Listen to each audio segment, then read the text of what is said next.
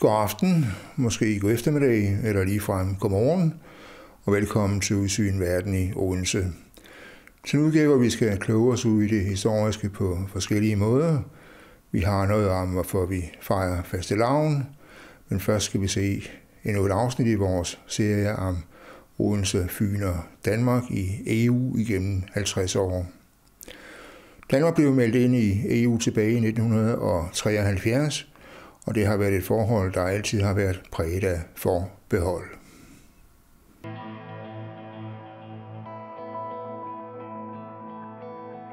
Øh, jeg synes, det er bedre, at vi bruger energi på øh, at diskutere så meget andet i det europæiske samarbejde, end de her forbehold. Det kunne for eksempel være, hvad gør vi for at lægge en bund under selskabsskatten? Hvad gør vi for at forhindre social dumping? Og hvordan bliver vi mere ambitiøse på klimaet?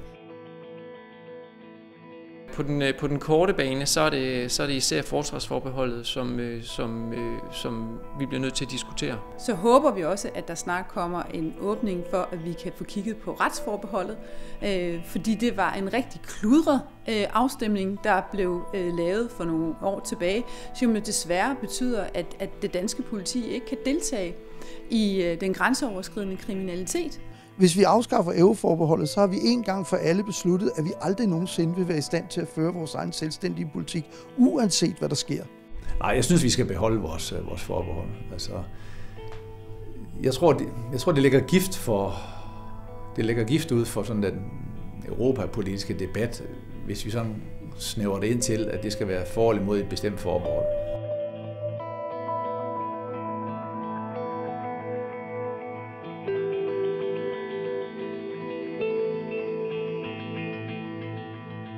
Denne historiske beslutning vil bidrage til at sikre Europas fred.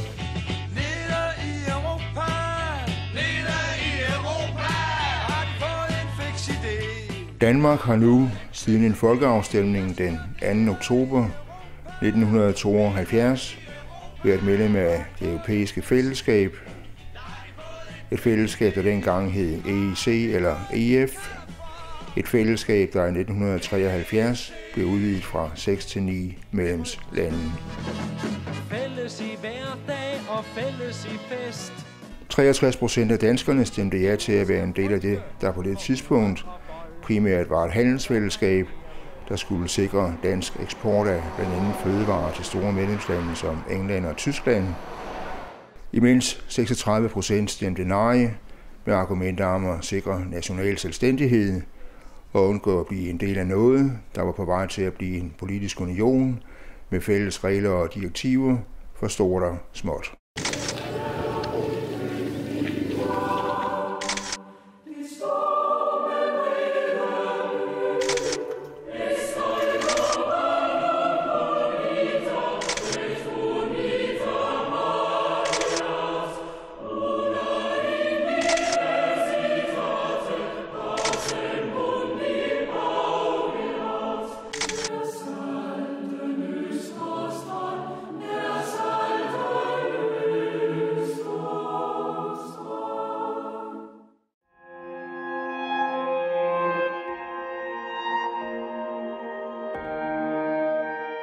I dag, 50 år efter, er fællesskabet blevet udvidet i flere omgange til det, der nu hedder den europæiske union med 27 medlemslande, der er bundet sammen i et økonomisk og politisk fællesskab. Et fællesskab, der har delt danskerne på flere måder igennem årene, forstået på den måde, at der altid i Folketinget har været et stort flertal, der bakkede op om udviklingen i EU imens den folkelige opbakning har været mere svingende. En ambivalens, der måske er meget godt illustreret i historien om de danske EU-forbehold. Jeg vil gerne bevare vores forbehold på alle tre. Selvfølgelig vil jeg det. Ja, jeg er da enormt glad for, at Danmark har et forbehold på euroområdet, og at vi ikke er med i euroen og det kaos, som vi ser i eurozonen. Altså, problemet med euroen er jo, at den er drønhamrende asocial og, og grundlæggende ikke fungerer. Øh, ligeledes er der enormt glad for, at når vi ser både Macron og Merkel og, og, øh, og, den, og EU-kommissionsformand Juncker stå og tale om, at man skal have en EU her, jamen så er Danmark ikke automatisk bundet til at være en del af det. Øh, det synes jeg er, er, er rigtig positivt. Øh, og derfor ønsker vi at bevare forbeholdene. Venstres holdning øh, på den lange bane er, at alle forbeholdene skal afskaffes. Principielt ville det da være øh, fint, hvis vi kunne være fuldt og helt med, men danskerne har jo talt, de har jo sagt, at de ikke synes, at vi skal ændre på vores forbehold. Vi har prøvet nogle gange, vi har to gange prøvet om euroen, vi prøvede i 15, 2015 om retsforbeholdet. Altså, jeg tror egentlig ikke, der er noget, der får mig til at sige lige nu, at vi skal bede om at få en folkeafstemning om nogle af vores forbehold. Der er ikke noget, der tyder på, at danskerne ønsker at komme af med dem. Så hvis det var realistisk, hvad det bare ikke er, så synes jeg, der er rigtig god grund til at se på retsforbeholdet. Det har vi bare stemt om, så derfor vil det være meningsløst at gøre det igen. Jamen, jeg ser gerne alle forbehold afskaffet. Man kan sige helt overordnet, fordi at, at, at vi jo sådan set bare ikke har medbestemmelse på, øh, hvordan eurosamarbejdet fungerer.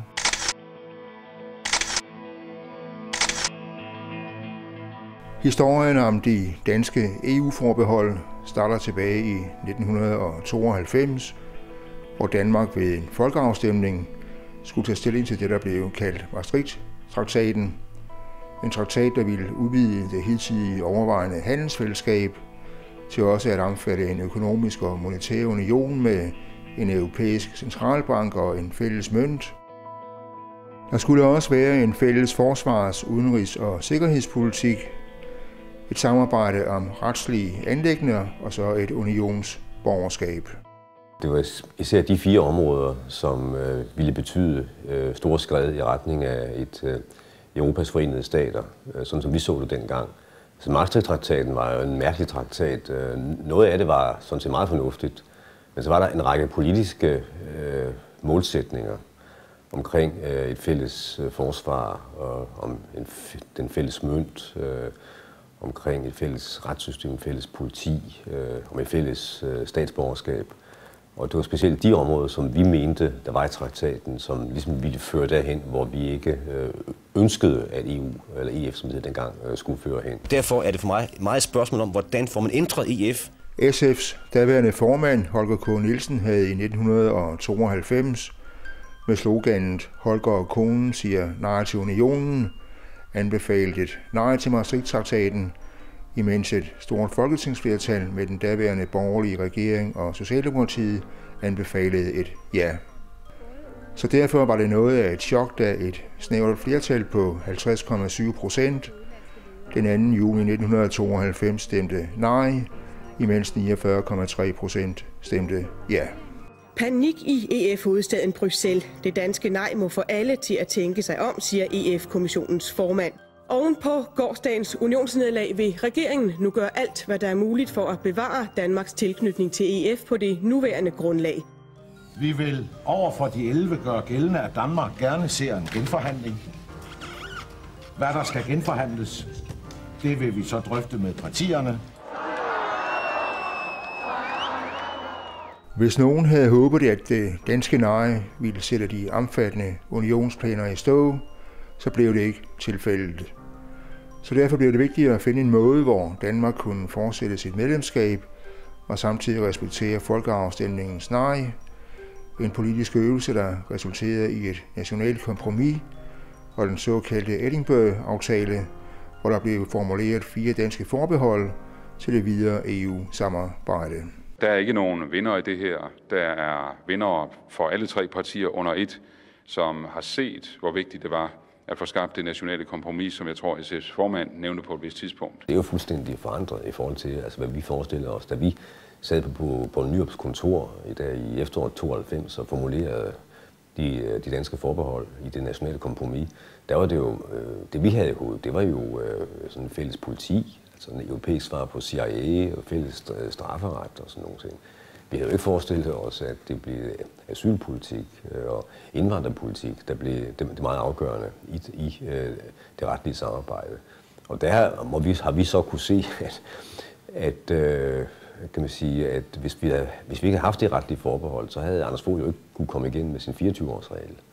Øh, og det vil sige, at forbeholdet blev hans værn i forhold til den der meget stramme dansk udlændingepolitik, som han fører sammen med, med Pia Kærsgaard. Og det var, det var jo ikke det, der var, der, der var meningen dengang. Og derfor har vi også sagt, at det, det, det forbehold, synes, jeg, synes vi skal, skal ophæves. Der er jo ikke noget reelt alternativ. Jeg synes, man skylder at sige det rent ud. Konsekvenserne af et nej vil på længere sigt være, at Danmark glider mere og mere ud af EU-samarbejdet. Det skal man sige rent ud. De fire danske forbehold, der skulle undtage Danmark og danskerne for henholdsvis et unionsborgerskab, en fælles mønt med en tilhørende økonomisk politik, et forsvarssamarbejde og et retsligt samarbejde om grænsekontrol, udlændingepolitik, civil- og strafferet og politisamarbejde, skulle så til en ny folkeafstemning den 18. maj 1993. Skal du stemme den 18. maj? Ja, selvfølgelig. Hvad er udslagsgivende for, hvad du vil stemme den 18. maj? Jeg kan godt sige, at jeg stemmer nej. Hvorfor? Fordi det gør jeg. Det er sgu ikke. Stemmer du ja eller nej? Jeg stemmer efter mit parti. Og hvad stemmer dit parti? Ja. Øh, jeg har jo ellers stemt nej alle de andre gange. Men jeg tror nok, du bliver nødt til at sætte det ja dengang. Jeg ved det ikke. Jeg kan ikke blive klog på det. Hvorfor? Jeg, jeg synes, at det er så meget forskelligt. Vi kan ikke blive klog. Altså, der er så mange meninger om alt det, man hører. Det vil sige, at du er en smule forvirret omkring den uh, debat, ja, ja, der kører? en smule, jeg er meget. Klippene her er fra Lokal-TV Odense Ser Rødt i maj 1993, hvor der for anden gang inden for et år skulle være folkeafstemning om Danmarks forhold til EU-samarbejdet. De øh, problemer, som vi i SF så, der var omkring Maastricht-aftalerne, dem har man i hvert fald i en vis grad fået øh, fjernet ved, at øh, Edinburgh-papirerne er blevet lavet. Og øh, det gør selvfølgelig, at jeg som rimelig pragmatisk, øh, politisk interesseret menneske siger til mig selv, at når vores, øh, vores forhindringer øh, og de ting, som vi har opfattet som direkte forhindringer, når de bliver fjernet, eller i hvert fald for en god dels vedkommende bliver fjernet, så øh, er der nogle grænser for, hvor længe jeg kan stå ude på sidelinjen og være nej-siger. Så må jeg gå ind og være med til at tage ansvar. Og det er da godt tilfreds med SF og SF's hovedbestyrelse med et meget stort flertal har sagt ja til at gøre. Der er jo nogle områder, hvor man øh, simpelthen er nødt til og, og sige, jamen det her spørgsmål, det kan vi så ikke sidde her hjemme i Danmark og bestemme om. Det er vi nødt til at være fælles om og tage beslutninger om. For eksempel miljøpolitikken. Og der, det, suverænitet er god at have, men, men øh, suverænitet med hensyn til, at, øh, at vi træffer beslutning her i Danmark om, at man skal luft for, øh, luftrense noget bedre i Ruhrdistriktet. Det hjælper jo ikke rigtigt noget, at vi sidder her hjemme i Danmark og beslutter det suverænt. Det er vi altså nødt til at have Tyskland til at være med til at bestemme i fællesskab. Der er en vilje i det europæiske fællesskab til, at landene på de områder, hvor de overhovedet har mulighed for det, selv skal træffe beslutning. Jeg tror også, at den debat, der har været i Europa, ikke bare i Danmark, men i Frankrig og i England og i Tyskland, har betydet, at man godt er klar over, at der er grænser for, hvor mange beslutninger man kan ligge i Bruxelles. At man også er nødt til at uddelegere noget ansvar på de områder, som vedrører os og som vedrører vores hverdag. At beslutninger træffes så tæt på det enkelte menneske som overhovedet muligt, det er også ledtråden i Venstres politik. Den nye folkeafstemning den 18. maj 1993 endte så med en forholdsvis klar afgørelse, hvor 56,7 procent stemte ja og 43,3 procent nej til de fire danske forbehold, som siden da har været til stor ærgelse for et flertal af Folketingets partier. Vi kan ikke melde os ud af, af Europa, fordi vi ligger, hvor vi ligger, og fordi vores økonomi er dybt integreret i øh, resten af EU's økonomi. Vi sidder jo ikke med ved bordet, når beslutningerne tages af de 17 eurolande. Og jeg ved godt, at det er en, en floskel, som vi alle sammen bruger, den her med at sidde med ved bordet. Men det har jo altså en betydning, fordi vi, vi går og tror, at vi har meget stor selvbestemmelse ved at stå udenfor. Og den selvbestemmelse består jo reelt i, at vi helt selv kan bestemme, om vi venter 15 eller 20 minutter med at hæve renten, når den europæiske centralbank har hævet den. Så vi har ærligt talt hellere sidde med, der hvor det besluttes, hvordan man skal agere, i stedet for bare at, at følge efter. I praksis tror jeg, jeg må sige, at i mange, mange tilfælde, og især de seneste 10 år, 6-10 år, har vi i virkeligheden set, at forbeholdene mere har været en møllesten om vores egen hals, Øh, end har været en beskyttelse i forhold til andre. Man må sige, at forbeholdene har i virkeligheden begrænset Danmarks muligheder for at varetage vores interesser bedst muligt.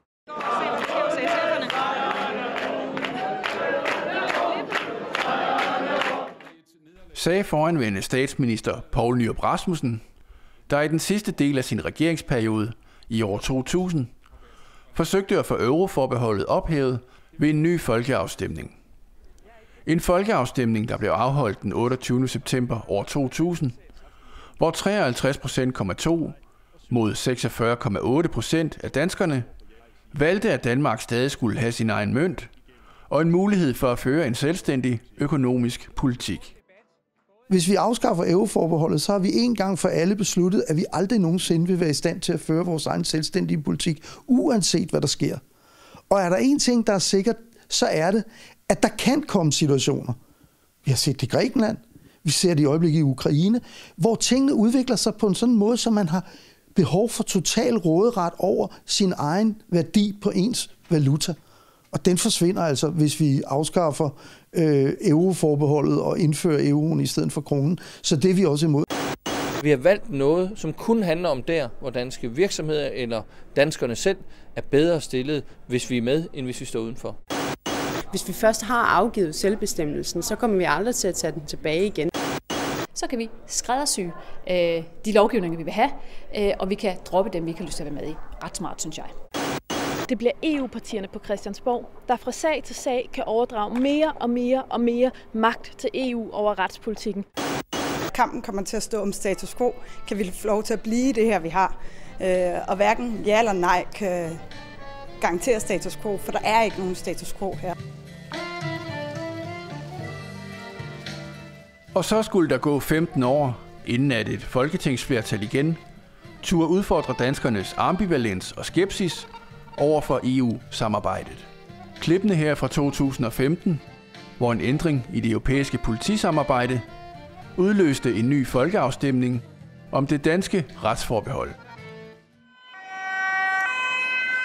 Som nævnt så har Danmark i en årrække haft en parallelaftale, der har betydet, at vi kan deltage i og drage nytte af det fælles europæiske politisamarbejde. Men da EU i foråret 2016 forventes at vedtage en ny forordning, der flytter politisamarbejdet og Europol til et overstatsligt niveau. Vi er afhængige af det, der sker uden for vores grænser. Men vi skal selv bestemme, hvad vi er for et land. Så har et flertal i Folketinget, bestående af Venstre, de konservative, Socialdemokraterne, SF, Alternativet og de radikale, valgt en folkeafstemning, der ikke kun handler om politisamarbejdet, men også i første omgang 22 andre retsakter. Vi øh, stemmer jo om at ændre retsforbeholdet fra det, det er i dag, hvor vi er forhindret i at deltage, til en tilvalgsmodel, hvor vi selv bestemmer, hvad vi vil deltage i. Helt som man har i England øh, og i Irland. Øh, og det er jo en anden situation, fordi det betyder, at vi kan blive fuldgyldige medlemmer af det europæiske politisamarbejde, også når reglerne ændrer karakter fremadrettet. Og det har vi jo ikke kunnet, øh, hvis vi beholder retsforbeholdet. Og hvis vi så skal lave en parallelaftale, den kan vi først gå i gang med at forhandle, når øh, de nye regler for Europol er trådt i kraft. Og den erfaring, vi har med at lave øh, parallelaftaler i EU, øh, er ikke særlig god. Det tager øh, typisk 5-6 år for at forhandle sådan en parallelaftale øh, på plads. Og det vil så reelt betyde, at i 5-6 år i Danmark øh, uden for Europol-samarbejdet. Selvfølgelig skal vi være med i øh, Europol, ligesom vi er med i Interpol og andet internationalt politisamarbejde. Det kan der slet ikke være nogen tvivl om. Det mener alle partier i Folketinget i øvrigt. Øh, og det er vi i øjeblikket. Og der er ikke nogen, der har interesse i at smide os ud. Så det er sådan en falsk præmis, vil jeg sige, at vi, det vi diskuterer, det er politisamarbejde. For det er alle enige om, at vi skal samarbejde med politi på tværs af grænser. Danmark Debatten frem mod folkeafstemningen den 3. december 2015 kom som ved mange andre EU-afstemninger til at stride i mange retninger, men også som fører til at handle om det grundlæggende i ja- eller nej-argumenterne. Skal man stå uden for indflydelse, eller kommer man til at afgive suverænitet? I dag er Europol efter min opfattelse et, en organisation, som vigtig på kort tid har gennemgået en meget, meget fornem et fornemt forløb, som, som simpelthen har gjort dem til, at de efter min opfattelse har, ja, de er second to none i forhold til for eksempel kriminalitetsanalyser. Det radikale Venstre havde kørt uh, tunge skyts i stilling, da de inviterede den tidligere PIT-chef Hans-Jørgen Bonningsen med til debatmøde på Odense Centralbibliotek, for at han kunne berette om de mange fordele, der er ved at deltage i det europæiske politisamarbejde Europol. Altså i dag kan man faktisk sidde i Ukraine i sin pyjamas på sin sengekant med sin PC'er, og så kan man faktisk gå ud og hente og tømme 100 konti fordelt over hele jordkloden. Det er også lige for at sætte det her i perspektiv, at det er fantastisk vigtigt, at man i dag har nogle redskaber, som gør, at man kan gå ud og øh, efterforske og efterforske på en måde, som man medvirker til at skabe den tryghed, som jo er forudsætning i forhold til det at, øh, at leve i et højt udviklet demokratisk samfund. Folkeafstemningen den 3. december 2015 endte med at 53,1 mod 46,9 procent stemte nej til at afskaffe retsforbeholdet. Og da der var valg til EU-parlamentet i 2019, var holdningen til de danske forbehold stadig delte. For mig at se er det jo et spørgsmål om, om vi vil have indflydelse på udviklingen og være en, være en del af det, eller vi vil stå udenfor, og så alligevel skulle, øh, skulle følge med i, i slipvinden på, på de andre europæiske lande. Forsvarsforbeholdet er et af de forbehold, vi meget gerne ser afskaffet. Så håber vi også, at der snart kommer en åbning for, at vi kan få kigget på retsforbeholdet. SF har et meget pragmatisk forhold til, til EU-samarbejdet. Meget pragmatisk. Altså der, hvor det giver mening, der vil vi gerne udvide samarbejdet. Og det giver faktisk mening at se på, på forsvarsforbeholdet på et tidspunkt. Vi, vi er også pragmatiske at se på, hvad kan lade sig gøre. Altså, jeg tror egentlig ikke, der er noget, der får mig til at sige lige nu, at vi skal bede om at få en folkeafstemning om nogle af vores forbehold. Der er ikke noget, der tyder på, at danskerne ønsker at komme af med dem. Øh, jeg synes, det er bedre, at vi bruger energi på øh, at diskutere så meget andet i det europæiske samarbejde. Sådan lød det i forbindelse med EU-parlamentsvalget i maj 2019.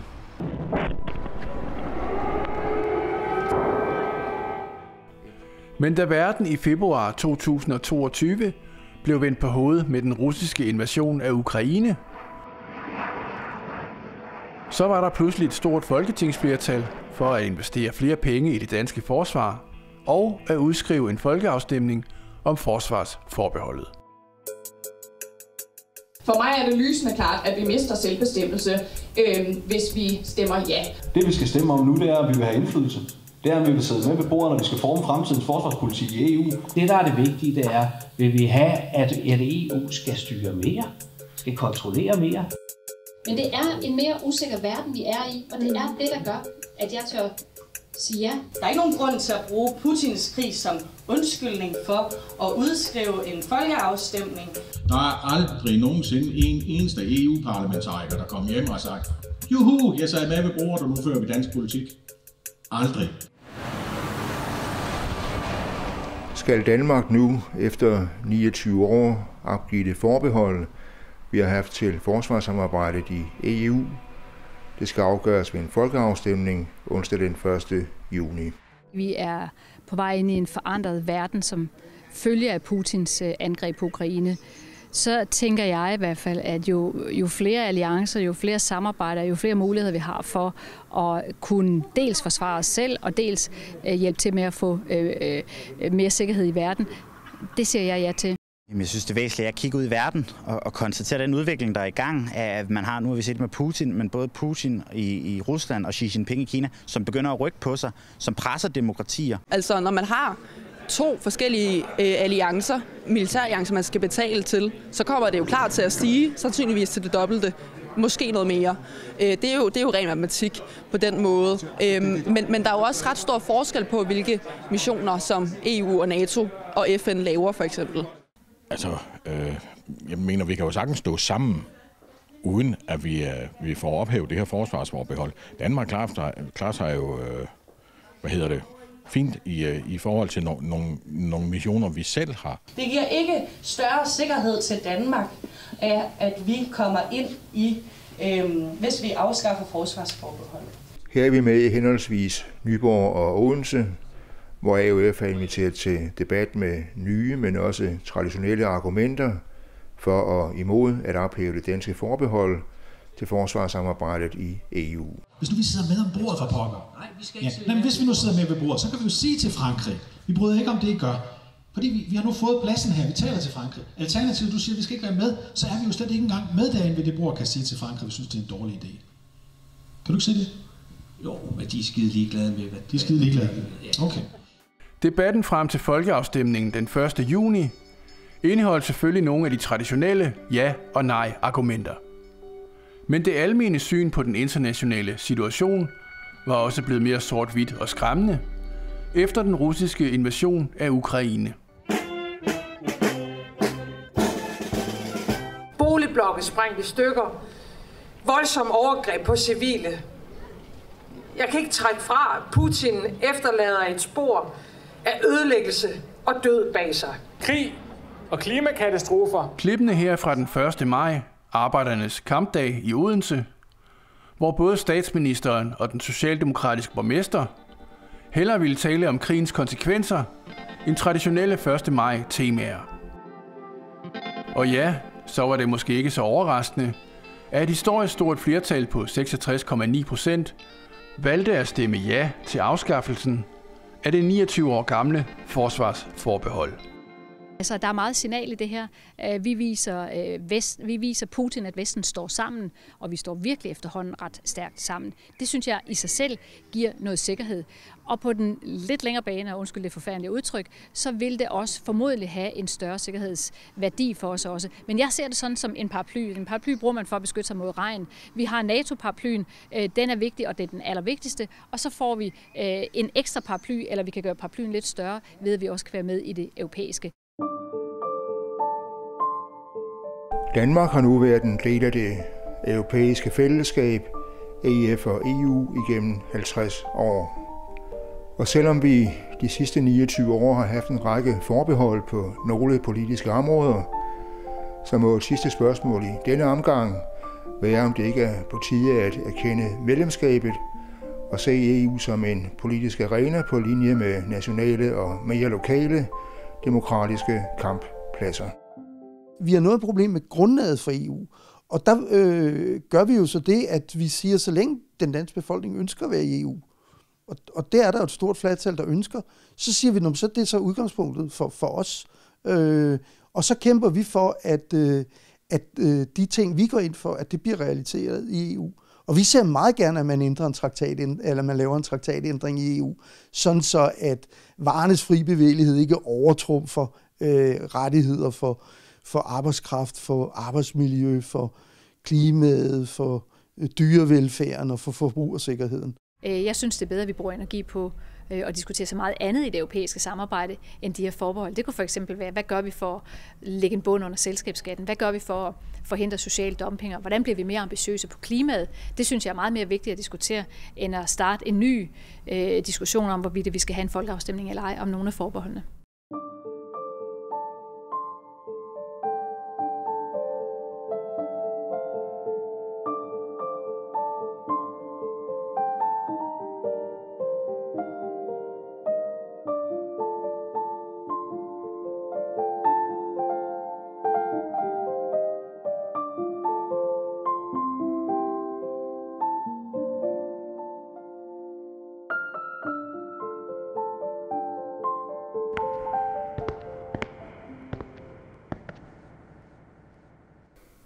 Og så skal det handle om historie på en anden måde.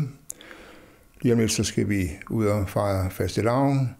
Men hvorfor er det egentlig, vi slår katten af tønden, spiser fastelavnsboller og klæder os ud? Vi har et indslag, hvor vi får nogle forklaringer, der rækker helt tilbage til middelalderen.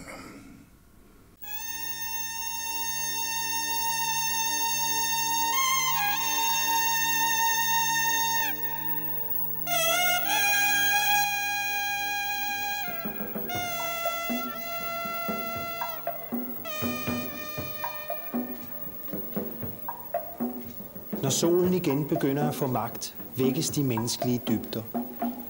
Intet kan modstå den tidevandsbølge af kaos, der vender verden på hovedet.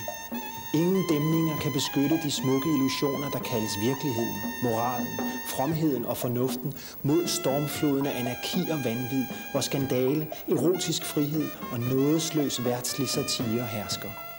Dette er dårskabens rige, hvor Harlekin, Naren, Landsbytossen og Bajas er konge. Dette er en magisk tid, uden for tiden, hvor alle er forandret. Alt er omvendt, bagvendt. En paradoxal tid, hvor modsætninger forenes, hvor orden er uorden, harmoni, disharmoni. Hvor blasfemi er hellig, love og tabuer sat ud af kraft. Det er tiden for udskejelser, overstrømmende følelser, glæde, vrede, venlighed og grusomhed. Et vanvittigt øjeblik, hvor livet krampagtigt omfavner døden i en hellig skabelsesdans. Dette er karnevalstid, hvis rødder går langt tilbage i menneskehedens liv. Langt før historisk tid, da mennesket levede i naturen og guderne hvilede blandt de dødelige.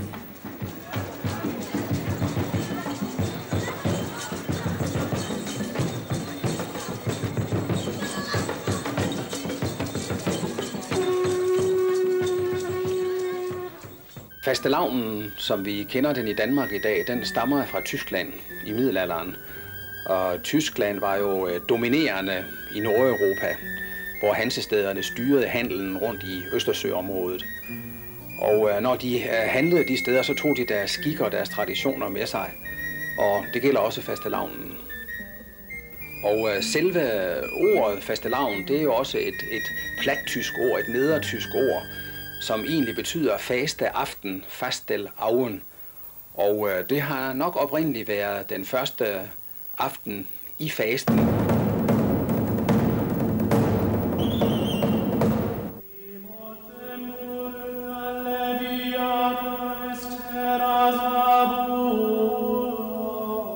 De første danske kilder om fastelavnsskikke stammer fra 1300-tallet, hvor det tyske kompani i København holder fest forud for fasten. Fasten som kirkelig handling blev indstiftet af Romerkirken i år 304 som en mindefest for Kristus ophold i ørkenen. Den blev fastlagt til at finde sted i 40 dage før påske. 40 dage, hvor man skulle leve i afholdenhed og forsagelse. Men nu skal det jo ikke opfattes på den måde, at øh, faste betød, at man ikke fik noget at spise. Man måtte bare ikke spise kød og det, vi i dag kalder animalske landbrugsprodukter, altså mælk og æg og alt, hvad der har med dyr at gøre måtte man ikke spise. Men så har man jo så spist øh, fisk og brød i stedet for.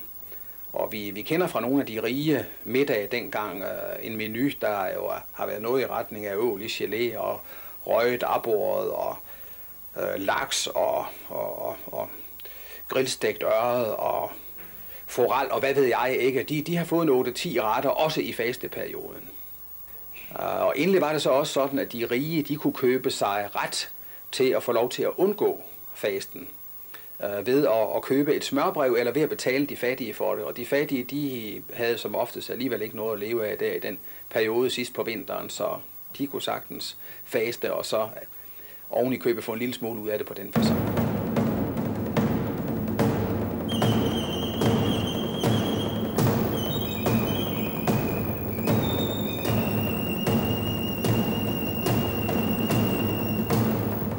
Kirkelige fædre, da de indstiftede fasten, tænkt, at den skulle ligge på et belejligt tidspunkt, da vinterforråd for de knap så velhavende alligevel var ved at slippe op. Men da den også falder på den tid, hvor foråret nærmer sig, så blandedes folks urgamle forårs- og frugtbarhedsritualer med trangen til at feste og slippe glæden løs inden den lange og strenge faste. Og meget i de gamle faste lavnsløjer var i virkeligheden levn af hedens kultus og primitiv naturdyrkelse – Et eksempel, som vi kender af fastelavnsriset. Riset var fra gammel tid og fra de fleste kulturer symbolet på frugtbarhed og renselse. Et værn mod onde magter. At blive riset var et ønske om liv, om frugtbarhed, og takken for denne velgærning var bollerne.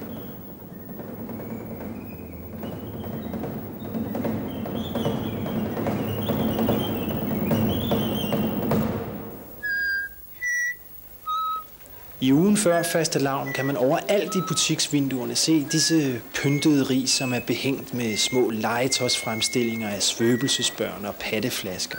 Naivt og barbarisk, uden sikkert hverken dem, der laver dem, eller de, der skal købe dem, har en anelse om betydningen. Man skal rise hinanden på sengen med dem. Hvorfor? Ja, hvorfor skal man netop ved samme lav spise faste lavnsboller? At det er en gammel offerskik. Hvem tænker over det? På et tidspunkt, så har man nok indledt øh, fasten med at, at have en lille øh, fest.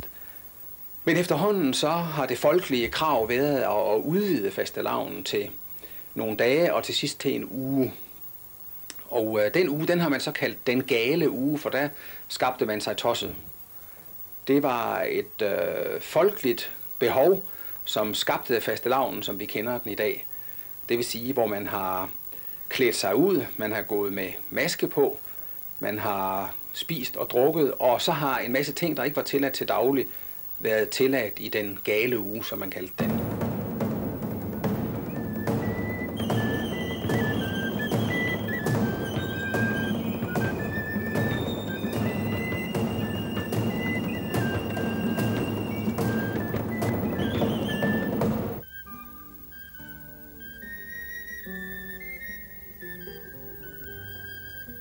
Den gale uge er et begreb, der stammer fra middelalderen.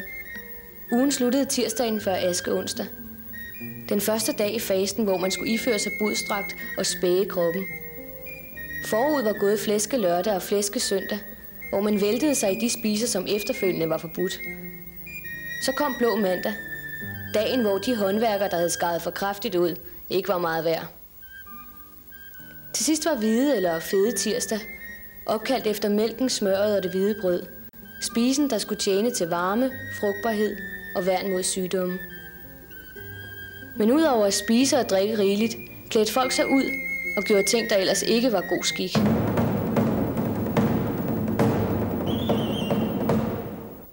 Fastelavnsfesten var et udpræget byfænomen. Med fremkomsten af handel og håndværk i byerne, kom ønsket om at skabe sig en egen kultur. Et led i dette var festerne, Kirkens stramme forskrifter gjorde, at der i hverdagen var brug for åndehuller, hvor folk kunne gøre grin med øvrigheden og vende tingene på hovedet. Det gik for sig med, at man åd og drak gevaldigt. Og øh, man sang, og man dansede, og det er gået ret voldsomt øh, til. Vi, vi har nogle skråer, nogle vedtægter for lavene bevaret, og deraf fremgår, at, øh, at det virkelig er gået voldsomt til. Der står, at man må ikke skubbe sin gildesbror ind i ilden, man må ikke spænde ben, man må ikke ligge på morsti bagefter, og man må ikke gå på horehus, og man må ikke spille mere øl på bordet, end man kan dække med en hånd. Og mange andre regler af den type, der fortæller, at øh, de har virkelig slået sig løs. De har formentlig også været udklædt. Vi ved fra 1490, hvor hertug Frederik af Slesvig-Holsten, øh, den senere Frederik den første af, af Danmark, øh, han var på besøg i Kalumborg i 1490, og man har bevaret sådan lidt af hans regnskaber. Og deraf fremgår det, at han har bestilt faste lavnsdragter hos en skrædder i Kalumborg. Så der, der er altså nogle af de fine kredse, der har slået sig løs. Men man øh, ved også, at den brede befolkning har, har gjort det.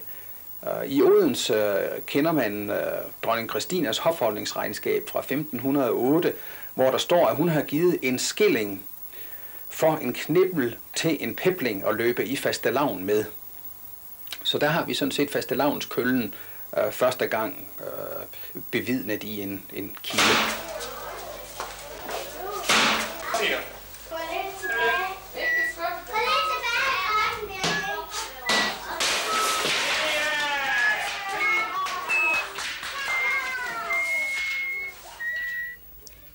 Over den almindelige festen og løsluppenhed, var der til fastelavn knyttet en lang række lokale skikke, forskellige fra sogn til sogn.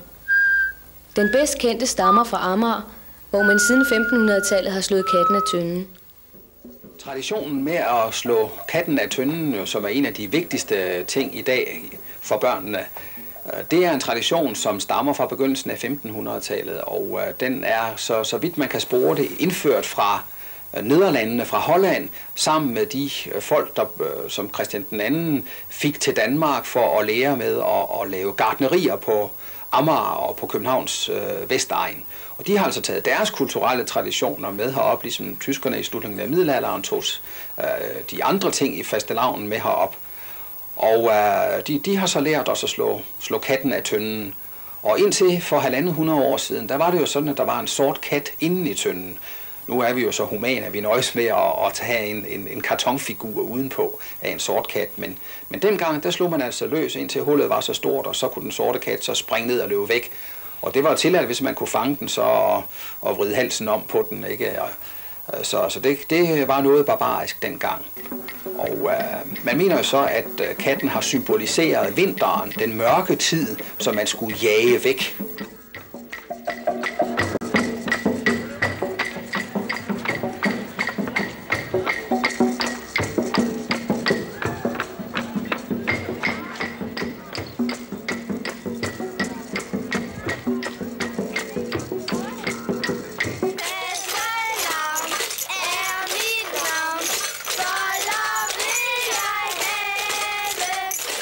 Ved fastelavnstid bevæbner man sig med noget så beskeden som en tændstikæske med en revne i, og begiver sig i byen for at rastle, efter at have grimet sig redsomt til i ansigtet. Formummet sig med et skørt, som sjasker om benene, hvis man er en dreng, og et eller andet strålende og for stort fantasilivstykke, hvis man er en pige. I små sjak ser man den komme ud fra sidegaderne og gå på jagt i kvarteret, trykket af stasen og ærbare, til de er små danske og kan ikke agere.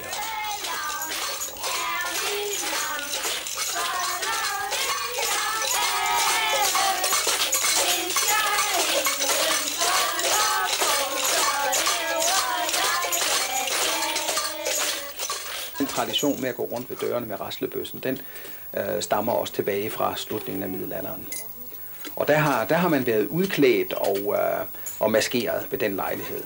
Og der har vi jo fra begyndelsen af 1500-tallet bevaret nogle faste lavnsspil i Odense. De eneste, der er bevaret, det er, det er to øh, spil fra Odense, som har været spillet til håndværkerlavnes fester, men har været spillet af skoleelever, de ældre elever, som blev kaldt dejne, eller de yngre elever, som blev kaldt peplinge. Og de har haft meget vanskeligt ved at overleve i vinterperioden, så de er jo gået rundt ved dørene og har sunget på Mortens aften, på Sankt Nikolaus øh, helgendag den 6. december, i juleperioden og også til fastelavn. Og fastelavnsspillene var jo sådan nogle mere udbygget, en mere udbygget måde at få penge i kassen på, eller få noget at, at æde, eller noget at drikke ved, ved fastelavnsfesten, hvor de så spillede for håndværkerne.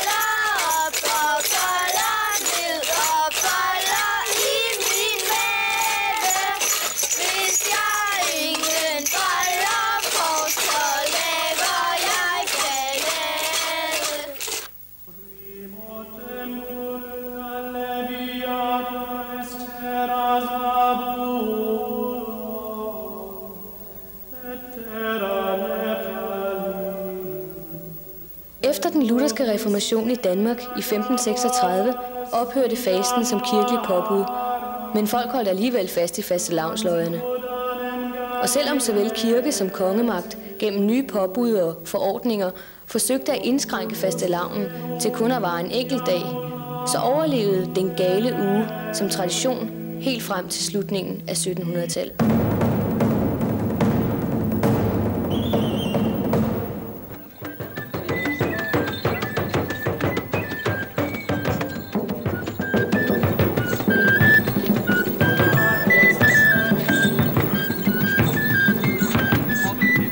Folk slog sig jo så løs til fastelavn i en grad, som øh, myndighederne begyndte at vende sig imod.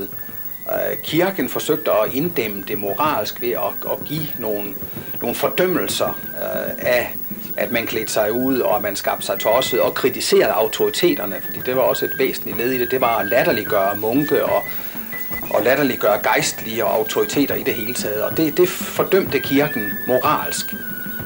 Um, det var så sådan, at de værtslige autoriteter, de, de forsøgte direkte at forbyde det. Og der har vi en skoleforordning fra Christian den andens tid, øh, hvor man forsøgte at forbyde, at man gik rundt øh, udklædte og, og, øh, og maskerede. Men øh, det er jo altså ikke lykkedes, fordi øh, forbudene dukker op igen op gennem 1500-tallet. Og Christian den 4. forsøger også at, at sætte ind med en række forbud. Men når de er nødt til at gentage dem, så er det fordi folk har altså ikke fundet sig i de forbud. Men efterhånden lykkedes det dog på Christian den 4. tid at få indskrænket fastelavnen fra, fra en hel uge og til nogle få dage, og også få, få løjerne gjort, sådan, hvad man har ment, øh, mindre og mindre. Øh, de, de har, der har ikke været så mange udskejelser uh, i løjerne op i, i 1600-tallet. Men der har været et folkeligt behov for at slå sig løs, og det er der jo også frem til i dag. Ikke? Så, så det er aldrig lykkedes at slå den tradition ihjel, og, i, I dag er det så sådan, at øh, de voksne, de holder måske ikke fast laven, men til gengæld så kan man måske sige, at den tradition er flyttet til nytårsaften, ikke? fordi der ser vi jo tit, at de voksne får hatte på og næser på og, og skaber sig tosse og drikker sig en gevaldig kæp i øret. Øh, så, så jeg ved ikke, i de folkelige traditioner, der flytter man rundt på festerne, så man, man kan anbringe dem der, hvor det passer en.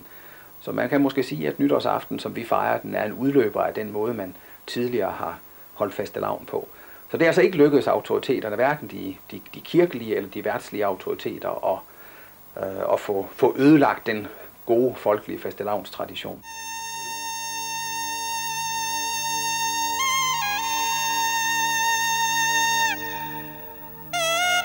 Det er en magisk tid, uden for tiden, hvor alle er forandret. Alt er omvendt, bagvendt. En paradoxal tid, hvor modsætninger forenes, hvor orden er uorden, harmoni, disharmoni, hvor blasfemi er hellig, love og tabuer sat ud af kraft. Det er tiden for udskejelser, overstrømmende følelser, glæde, vrede, venlighed og grusomhed. Et vanvittigt øjeblik, hvor livet krampagtigt omfavner døden i en hellig skabelsesdans.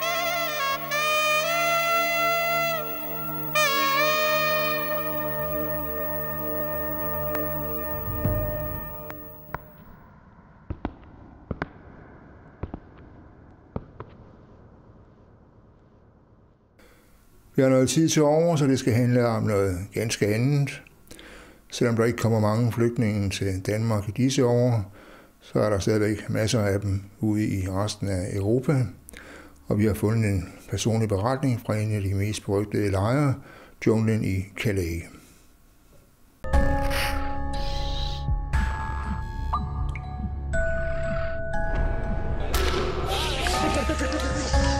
Hvis vi i Danmark her har en grå farve, så har man i, i sådan en flygtningelejr, der har man den flotteste hvide og den mørkeste sort. Ikke? Og politiet, de her romerske soldater, de kom bare løbende ind på fodboldbanen og sagde, alle jungle, alle jungle, go monkey, go monkey. Vi er med til foredrag på St. Knuds Gymnasium i Odense. Og der var cirka 22 forskellige nationaliteter. Billedkunstner Aske Jonathan Kralgaard fortæller om sine oplevelser fra en længere rejse i Europa. En rejse, der blandt andet førte ham til den berygtede flygtningelejr junglen i Calais, Frankrig, tæt på den engelske kanal.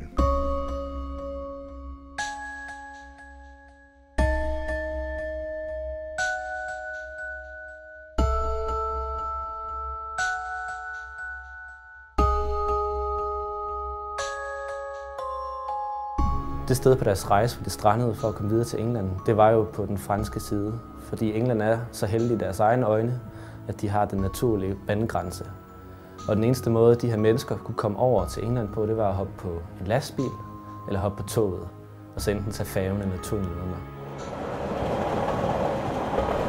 Så lige så stille, så kom der flere og flere mennesker til. Og det er egentlig en lejr, der har været der siden år 2000. Det er en meget gammel lejr, men der i 2015, 2014 16, hvor det hele eksploderede, der eksploderede også antallet af mennesker i lejren. Så fra at være på 100 mennesker, så blev det lige pludselig til sidst, før den lukkede, til knap 10.000 mennesker. Så det var en mindre dansk by, der faktisk havde opstået der ude på en pløjemark. Da Aske første gang kom til junglen i Calais, havde han regnet med, at det bare skulle være et besøg undervejs på hans rejse i Europa.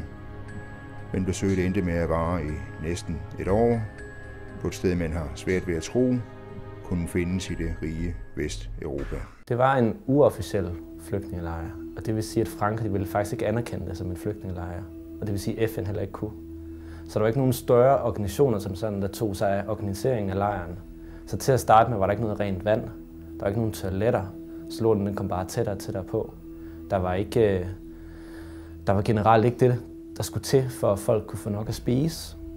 Frankrig havde, havde øhm, hyret en, en delvis privat organisation, der skulle tage sig af de her mennesker. Og de har så barrikeret sig bag en, en mur i flygtningelejren. Og den åbnede de fra kl. 12 til kl. 5 hver dag. Og derinde der kunne man så komme på toilet eller få lidt vand. Og man kunne også få mad en gang om dagen. Og de gav mad til 2.000 mennesker på det tidspunkt. Men der var 4.000 i lejren. Så der var en masse desperation i lejren, for der var simpelthen ikke de fornødenheder, der skulle til. Øhm, de eneste sådan, officielle organer, der egentlig var derinde, det var til at starte med, det var faktisk øh, Læger Uden Grænser, som så var ligeglade med alle de officielle restriktioner. Men øh, ellers så var det fuldstændig en anarkistisk lejr, og derfor også navnet The Jungle, fordi hvor der ikke er noget system, der hersker jungleloven, og det gjorde der også i The Jungle. Men selvom det på mange måder var jungleloven, der herskede i flygtningelejren i Calais, så var der også forskel på, hvordan de mange sammenbragte mennesker håndterede den ekstreme situation. Det er to forskellige slags mennesker, jeg fandt i lejren, uanset nationalitet, identitet eller race. Øhm, og det var enten dem, der kom fra en uddannelsesbaggrund, om det så var fra en mark ude i Sydsudan, eller om det var i Syrien. dem, der simpelthen havde haft penge og, og know-how til at kunne overleve. Det vil sige, know-how det kunne også være for eksempel bare at kunne tale et andet sprog, som engelsk for eksempel. Det var en gruppe. Den anden gruppe, det var, det var dem, der havde overlevet med survival of the fittest. De havde alle sammen været igennem nogle forfærdelige ting, men den anden gruppe, det var ikke dem, der kom fra en uddannelsesbaggrund. Det var dem, der havde overlevet på den barske måde. Øhm, så det var de to fraktioner, jeg så i lejren. Og udover det, så var der, så var der nogle andre mennesker, der fulgte med de her flygtninge og immigranter. Og det var øh, gangsterne og smuglerne. Og de fik tiltagende magt i lejren, også jo sværere det var at komme til England. Øhm, og de var jo ikke venligsindede. De var ikke venligsindede over for nogen, og heller ikke de mennesker, de skulle smule. De mennesker, de skulle smule, det var ren penge i deres øjne, og de udnyttede dem af helvede til. Og de havde magtkampe i lejren, de havde magtkampe uden for lejren, og det vil sige med våben. Øhm, så det var, det var det trusselsbillede, der var øhm, i form af den negative side af, af, af, øhm, af jungleloven. Det sjove er jo faktisk, at jeg følte mig meget sikker der. Efter at Aske havde tilbragt næsten et år i junglen i Calais, valgte han at vende tilbage til Danmark og Odense, hvor han gik i gang med at bearbejde sine oplevelser gennem billedkunstneriske udtryk.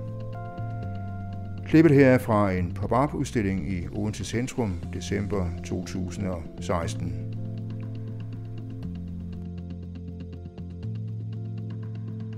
Og klippet her er fra en udstilling hos Galleri Galsøt, hvor han arbejdede frivilligt i et års tid, imens han også begyndte at tilbyde foredrag om sin rejse. Blandt andet her på St. Knuds Gymnasium i Odense. For det her, det hed junglen. Og det hed det af en rigtig god grund.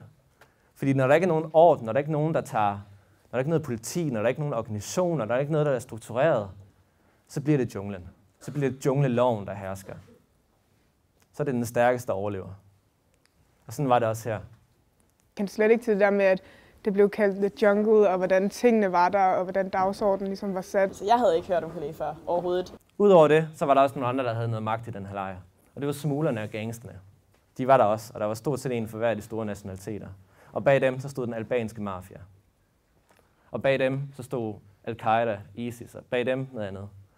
Det blev ofte set som normalt at man enten velvilligt prostituerede sig til smuglerne, eller blev forceret til at gøre det som kvinde. Man hører om, hvordan at der er gangsters, og der er mafiabosser, som, altså, som nærmest styrer de der steder der og voldtager kvinderne, men alligevel så vender Frankrig bare ryggen til, og så ikke vil godkende det og ikke vil hjælpe dem. Det synes jeg, det chokerede mig meget. Jamen, jeg synes, det var hammergodt. Det var virkelig tankevækkende. Det satte virkelig ens problemer i perspektiv. Det var lidt en anden virkelighed, man ikke rigtig var vant til at opleve.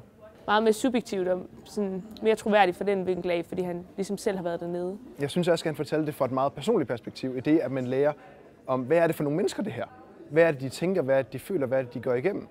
Øhm, I stedet for at tænke på dem som, hvor mange penge kommer det til at koste, så hører man, hvad er de for nogen? Hvad vil de gerne? Hvordan opfører de sig? Hvor kommer de fra? Hvad er deres historie? Det giver noget helt andet. Og så kom en sidste afslutning. Lejren skulle ryddes. Og det, der skete næste dag, det var, at der kom nogle folk hen i Orange Vesterbanket på folk større, hvis de boede i en hytte eller på deres teltdu, og sagde, du har 20 minutter til at flytte dine ting. Og efter de 20 minutter er gået, så blev der skudt gaspatroner ind i den del af lejren, og så kom politiet og det, og så kom bulldozerne.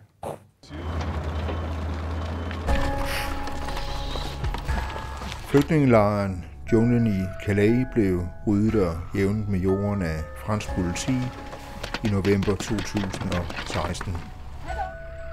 Men der er stadig illegale flygtninge i Calais og mange andre steder i EU, og Aske tager stadig ud og holder foredrag om sine oplevelser i et Europa, de færreste kender til. Det startede meget som et meget faktuelt og egentlig også et halvpolitisk projekt, det er så gået mere over til en personlig historie, fordi jeg fandt ud af, at det, der faktisk rørte folk mest, og der, hvor jeg faktisk kunne ændre flest, specielt unge menneskers liv, det var ved at fortælle, hvordan man egentlig kunne, hvordan man kunne træde ud af det spor, der allerede er blevet lagt for en, og så skabe sit eget. Og komme ud og opleve livet og se, se, se, når livet er stærkest, se, når livet er, er sværest, men også bedst og smukkest.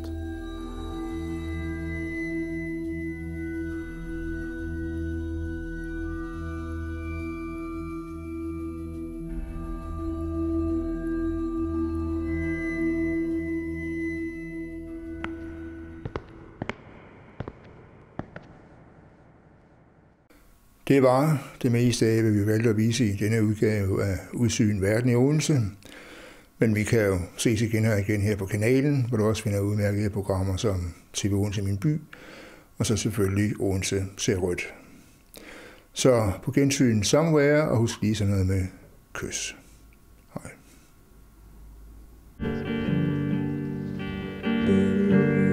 bakker, marker, eng skov.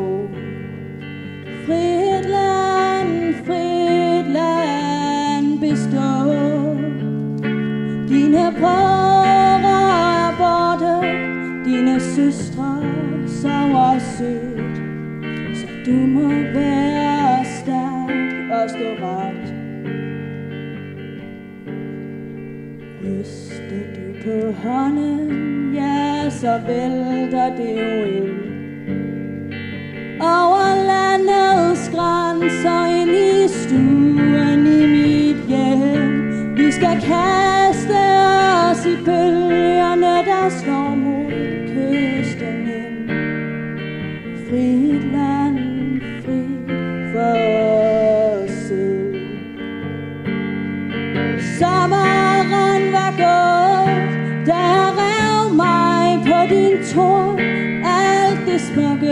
det gør ondt. Fra myggestik ved søerne til trådene i bølgerne, der brænder hendes ben. Vi skal kalde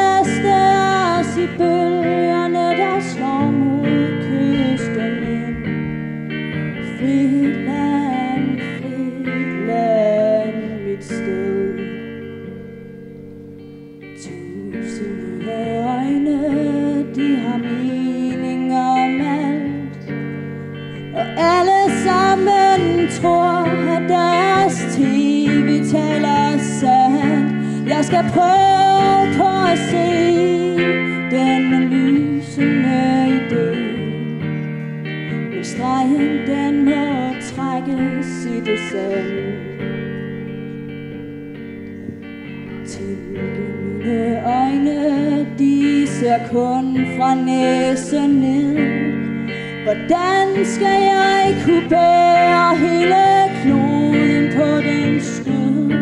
Hele verden smerte kommer ikke mine ved. Frit land, frit land, mit sted. Sommeren var gået, der rev mig på din tår. Alt det smukkeste gør. Fra myggestik